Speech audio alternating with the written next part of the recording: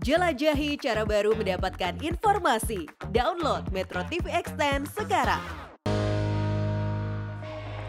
Pemirsa Anda kembali di Selamat Pagi Indonesia. Kita akan masuk informasi yang menjadi trending topik pada pekan ini. Yang pertama adalah tim bola basket putri Indonesia berhasil mengalahkan Iran dengan skor 5-5-5-3 pada fase divisi A FIBA Asian Women's Cup 2023 di Bangkok, Thailand.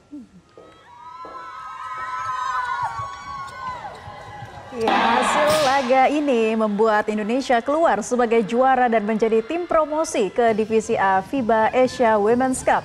Promosi ini menjadi sejarah bagi basket putri Indonesia sejak format turnamen dua divisi diadopsi pada 1994. Sebelum menang di final, Indonesia tampil penuh energi untuk menaklukkan Thailand pada fase semifinal. Dan informasi membanggakan ini menuai beragam komentar khususnya di Instagram Basket Nas Putri dan kita akan lihat apa saja ragam komentar dari warganet.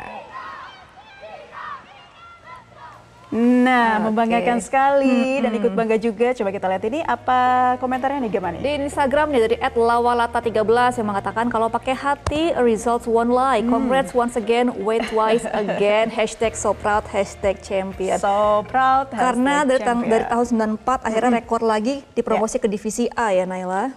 Oke, kita lihat lagi kebanggaan yang muncul dari netizen ini dari, dari Lucia underscore 9. Ada hari yang berat yang akhirnya bisa dirayakan. Once again, congrats. Hmm, kita nantikan juga ya di Piala Ya. Dunia Basket yang akan diselenggarakan bulan depan ini ya. Betul.